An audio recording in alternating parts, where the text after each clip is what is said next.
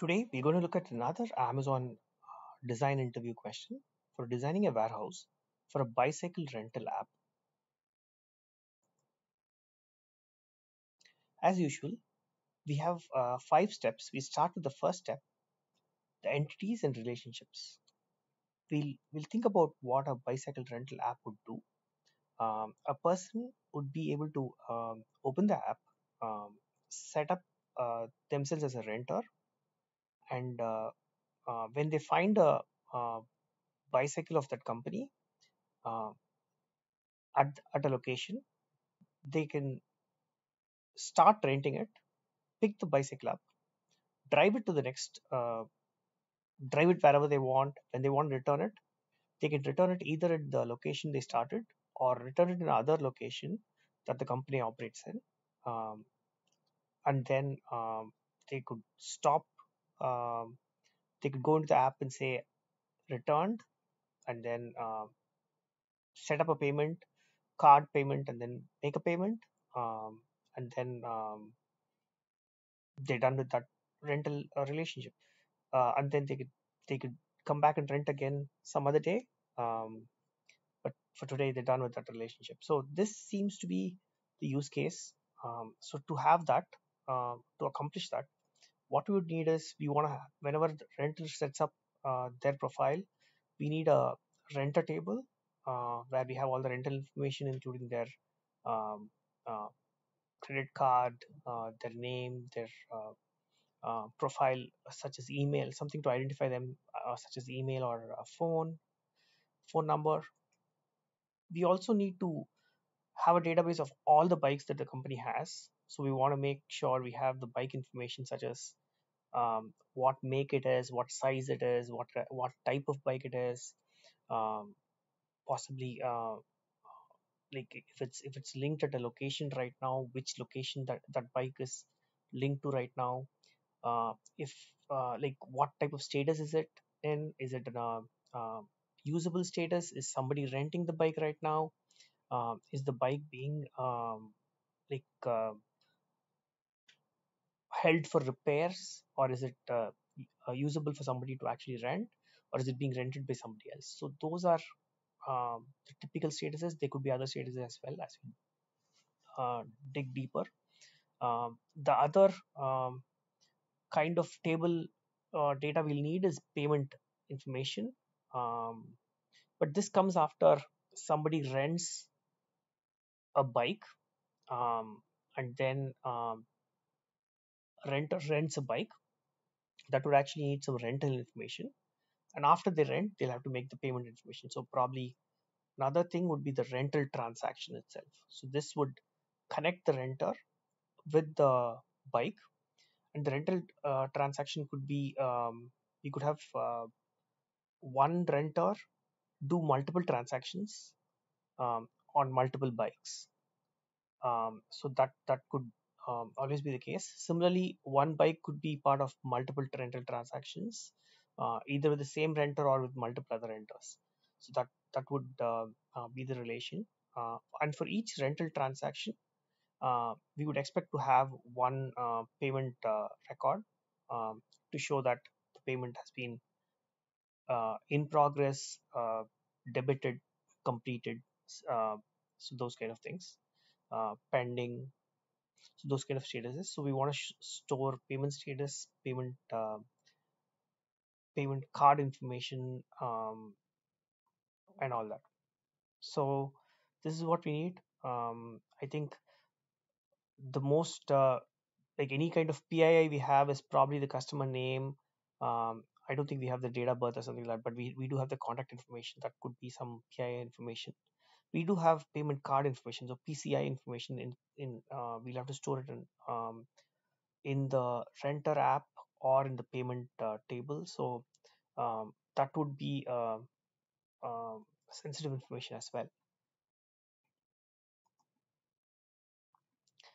To tie all this up uh, a rental transaction could start from location 1 and go to location 2 uh, so we need to store all the locations uh, this company operates in um, that would include um, say either location coordinates or location um, id number or in fact both.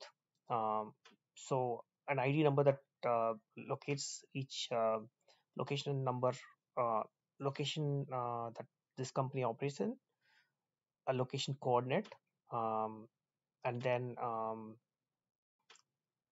also those locations would be uh, linked to the rental transaction where if somebody takes the bike at location A and then returns it at location A, the, uh, the start transaction, uh, the start location for rental transaction and the end location of the rental transaction would be location A. Uh, if they do it in a different place, they rent it A and return it B, then that would re reflect in the rental transaction record. So these are, I think, uh, what we need as entities uh, and relationships. We'll next see what are the business questions that we need to answer uh, to be able to uh, build a data warehouse. So to to have a data warehouse um, is different from having an operational uh, consideration. We don't need to have like a third normal form or a second normal form uh, database. Uh, we could have redundancies, but we will want to answer the questions faster. But what are the questions would, would somebody running a rental database ask? In my mind, I think we would want to understand what would be the revenue that we generate. So we want to know how much revenue we generate every month. We also want to compare it with the previous month of the same year or this quarter versus previous quarter, so something like that. You would also need uh, revenue breakdown by month by state. So not only by uh, month but also by state or location. Uh, we would also want to um, find out like how much percentage of time the rental bikes have been um, stable that is usable versus when they are how much percentage of time they've been unusable. Um, so within that we might also want to look at some trends as to are there uh, certain bicycle brands that break down much more often than the other if so can we list the first top three that break down more often uh, than the other? So these are questions if i were i were uh, thinking about what a business would think about i would come up with these. Um, there may be others but another one i can think of the last one i can think of is uh, the renters. From a renter perspective so if a renter has rented um, in the last month but in the last month they have not rented. Um, so i mean they've rented in february but they've uh, since march started they've not rented. Um, i would want to i would want to capture those renters so that i could probably uh, either give them a promo code or uh, softly nag them by pro- providing a no- notification or uh, be able to capture their attention in any other way uh, so that i can get them to be a recurring customer. So that would probably be one other thing i would think of. Um, and i would also want to uh, make sure i collect from all the people who have rented. So if somebody has not paid for the last two days i would want to send them a text message to ensure that um, they know that they've they've not paid and they'll have a access to quickly go there click the link on the text message and quickly make a payment.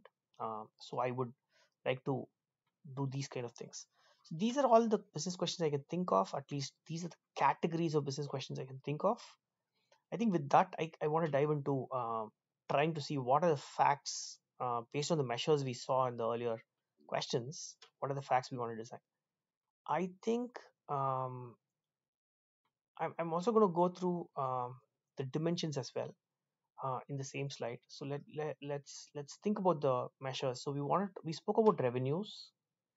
Um, we spoke about uh, revenues broken down by month by location. We spoke about um, renters who have not paid their dues, renters who have not rented in the past. So we want to know about the renters and how much renting, uh, how uh, what when they've rented earlier. So we, we also want to know um, like the status of the bicycle itself and when the bicycle started to be in good state when the uh, un- unusable state and when it um, it started to be in usable state so we want to know the transition or the time when it actually uh, was usable and the time when it actually was not usable. So we want to know that. So given that, um, I, I I want to reiterate uh, with these uh, visual points. So we need to measure the revenue by date, by location. We want to have the rentals that don't have a payment yet. You can actually link that later to a renter. If we find what are the renters, renters that don't have, don't have payment, and then we can figure out which rental is linked to which renter. That that would be ideal. We would want to know the bike status changes, and we want to know when the bike status changed from usable to unusable. Um, that would enable us to calculate the percentage uh, of time um, the bike is in unusable state. So the model that I think would fit for this would be to have at the center of all this the rental as the fact. Uh, the dimensions that surround that are like locate uh, are the renter, where the renter ID would uh, would be able to look it up. Location start and location end, which link to the locations dimension. Then uh, the the payment dimension is linked by the payment ID. We also have uh, dimension bikes uh, and the dimension dates. So the dimension bikes would have information about the bike brand, the bike's current status, um, the bike's uh, uh, make, model number, um, and stuff like that. Uh, and the um, we, we could also have uh, like acquisition dates, the start date. Uh, since we have this, uh, probably that will be useful to uh, calculate the age of the bike. Uh, so so we'll we'll later know when to replace it. So all that information can be stored in the bike's dimension.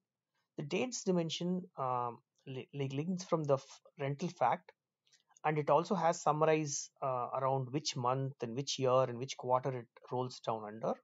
This helps us uh, um, like aggregate the revenue from the fact rental table based on quarter.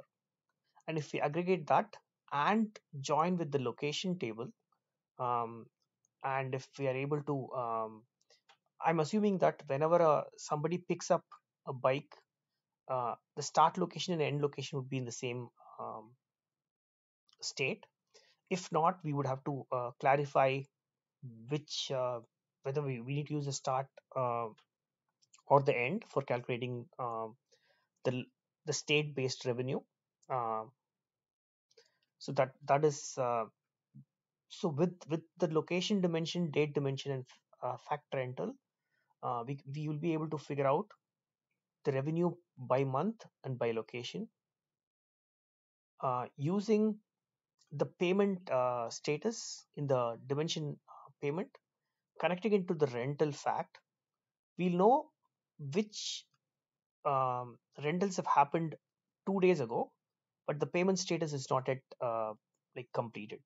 So those can be easily found and we can we can link that back to the renter dimension to figure out which renters have not paid and then we can notify them. So that that use case as well can be satisfied by that. Um, at the rightmost we have a bike status history and this is to satisfy the status where we want to know when the bike um, like changes status from uh, usable to unusable. Um, like when when somebody rents the bike uh, we want to change the current status in the bike dimension um, to be um, rented and then when they when they return the bike back we want it back to be available. So that that can be found um, in the dimension bikes table itself. So there's a current status column there that will be updated every time.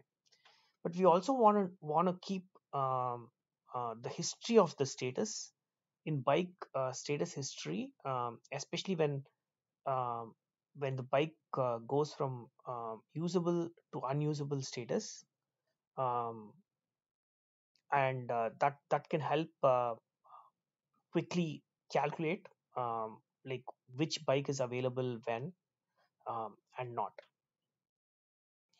uh, all these dimensions are uh, type 2 dimensions given that uh, bike is a type 2 dimension now i'm um, inclined to think that um, if are able to store all the uh, like uh, bike status changes in the dimension bike table.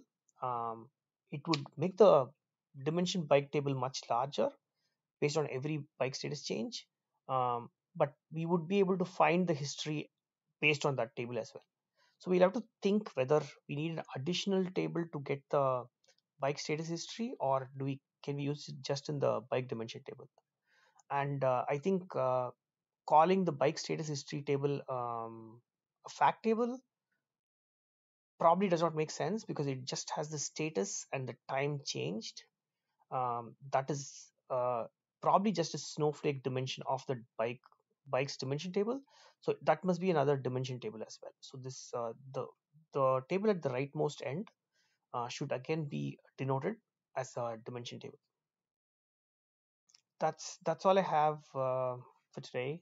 Uh, if you have any comments on how to do this uh, model better uh, if you think of other ways uh, this could be solved uh, please let me know uh, in the comments below